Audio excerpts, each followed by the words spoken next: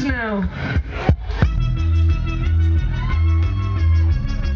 That said, this is a love song for you.